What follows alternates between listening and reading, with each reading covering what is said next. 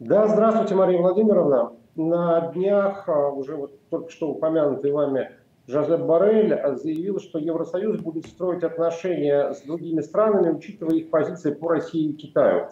Позвольте себе цитату. «А, «Мы должны работать с гораздо большим количеством третьих стран, мы должны бороться с российскими нарративами в Азии, Африке, Латинской Америке», сказал он, и добавил, что подготовил по этому поводу целый план. Как бы вы могли это заявление прокомментировать?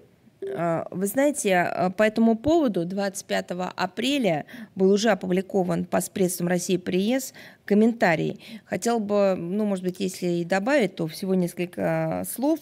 Упомянутое заявление Барреля является очередным неадекватным заявлением, неадекватным, потому что он все-таки является и дипломатом, и представителем Европейского Союза, претендуя на роль человека, который озвучивает позицию не только государств ЕС, но и народов ЕС.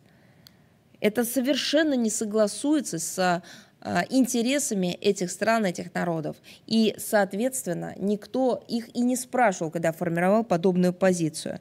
Ну и, конечно, это очередной пример идеологизации европроекта, я имею в виду Европейского Союза, и нарушение руководством Европейского Союза одного из, из основополагающих принципов Устава ООН, который касается уважения суверенитета государств, их самостоятельной роли при определении путей собственного развития внешней и внутренней политики. Но и еще в этом же прослеживается сегрегация опять тот же самый подход деления на тех, кто имеет право жить, как считает нужным, общаться с кем хочет и выстраивать свои, а, свою суверенную внешнюю и внутреннюю политику самостоятельно, и на тех, кто не имеет права и кому из первой группы будут даваться указания, как им жить, работать а, и так далее вот э, сравнительно недавно ЕСовцы в двусторонних контактах и публичных выступлениях Э, отрицали, причем еще с возмущением отрицали,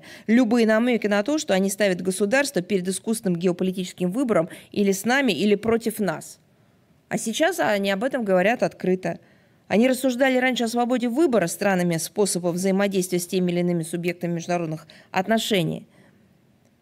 При этом против тех, кто не хотел обслуживать интересы Запада, применялись сразу экономические меры так называемого стимулирования, э, меры монетарного э, контроля, вводились ограничительные меры, ну, соответственно, вы помните, все, что касается визы, виз, выдачи виз, визовых режимов, соглашений о безвизовых режимах, также являлся инструментарием управления ситуацией и оказанием давления и влияния на соответствующие страны.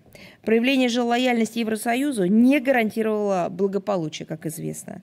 Из-под контрольных государств выкачивались ресурсы, их ставили в зависимость от Европейского Союза, а в случае возникновения экономических проблем или социальной напряженности бросали на произвол судьбы. Откровения Барреля ни у кого не вызывают удивления, потому что он делает подобные, еще раз подчеркну, неадекватные заявления регулярно. А почему они неадекватные? Да потому что они э, вытканы из э, ультиматумов и лицемерия. К сожалению, это главные духовные скрепы идеологии миропорядка, основанного на правилах, и популярности Европейскому Союзу это все, конечно, не прибавляет.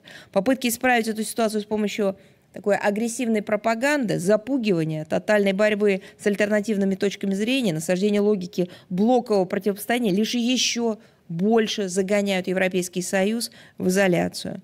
В конечном итоге, э, да мы и сейчас видим, больше всех из страдает и еще больше пострадает от своих собственных попыток разделить мир э, каким-то новым занавесом. Раньше был железный, а теперь, видимо, какой-то ботанический, э, потому что деление теперь по какому-то растительному признаку, ну, не знаю, наверное, не по себе судят, э, рассматривая э, человечество как растение.